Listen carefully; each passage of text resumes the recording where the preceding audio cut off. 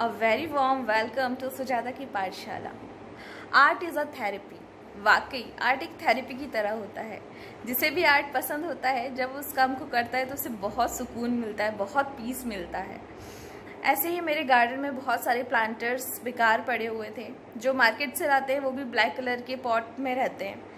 तो मैंने सोचा कि इन सारे पॉट्स को एक नया लुक दिया जाए। तो मैंने इस वीडियो में सारे जो प्लांटर्स आपको दिखेंगे वो घर में वेस्ट पड़े हुए थे।